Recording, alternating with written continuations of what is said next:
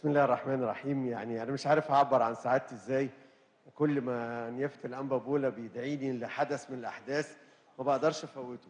في الحقيقة القصة اللي حكاها نيافة الأنبا إن أنا كلمته من يومين وكان فعلا عندي ارتباط النهارده ما كنتش هقدر آجي. فقال لي هيفوتك كتير لأنه المكان مختلف. آه، فقلت يعني هي ال- الكنايس آه، كنيسة زي أي كنيسة. يعني لكن الانبا بولا محبته جوه قلبي ما أقدرش أرفض له طلب. لكن فعلا كان هيفوتني كتير قوي لو ما كنتش جيت افتتحت النهارده لعدة أسباب. السبب الأول لأن أنا بفتتح أو بدشن الحصن. وأنا عجبني قوي هذا اللفظ. هو حصن جدرانه ليست من الحجارة. جدرانه من الأصالة من الحضارة من عبق التاريخ. ونيافة الانبا بولا أضاف له جدران تانية. جدران من المحبة. جدران من التعاون جدران من الأخلاق جدران من الولاء والانتماء وده اللي إحنا دايما بنعهده في نيافة الانبا بولا بشكرك نيافة الأنبا بشكر الاباء الأساقفة على تشريفكم لينا. برحب بحضراتكم في محافظة الغربية.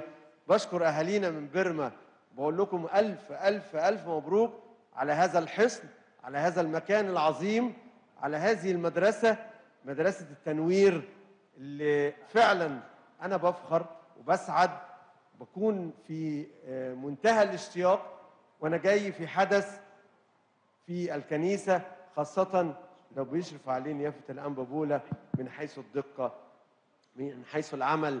منظومة منظومة من ال من ال من الحب والتعاون. فعلا بجد أنا بهني حضرتك نيافة الأنبا مش بس على تدشين الكنيسة لا على محبة الناس ليك وعلى صفاتك الجميلة اللي قالوها وعلى فكرة هم ظلموك قالوا أربع صفات بس.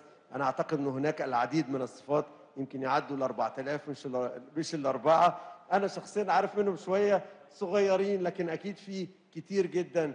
بقول الأهلي في بيرما وفي طنطا وفي محافظة الغربية دايما كلنا بخير دايما مصر بخير.